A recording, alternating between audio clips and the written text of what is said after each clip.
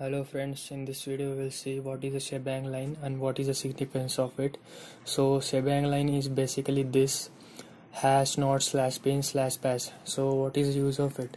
So the use of this shebang line is your shell script will always run in bash shell. So no more no matter what is your default shell is the shell script this shell script will run in bash shell because of this shebang line.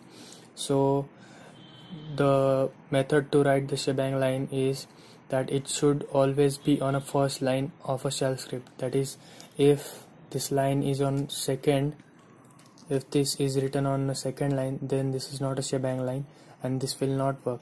So whenever this hash not slash bin slash bash is on a first line then the rest of the shell script will work will run on a bash shell.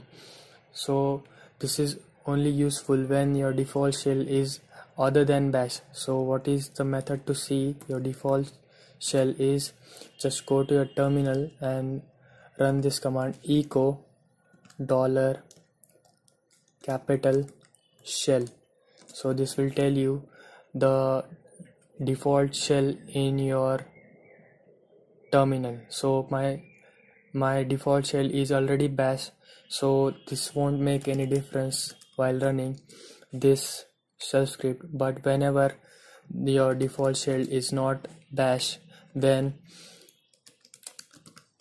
because of this line yeah, it will this shell script will run in a bash shell. So there are plenty of shells available in in my machine. The way to see is that cat etc and slash shells. So this will show me the shells in my machine. So currently I'm using this bash shell. This might be this this bash shell this might be different in your machine. So whenever you want to run your run your shell script in bash shell or some other shell you just have to give the shebang line like this.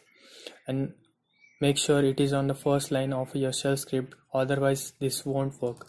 So we will just run this if it is working or not.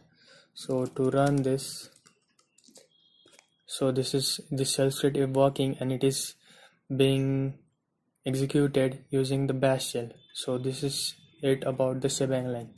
Thank you for watching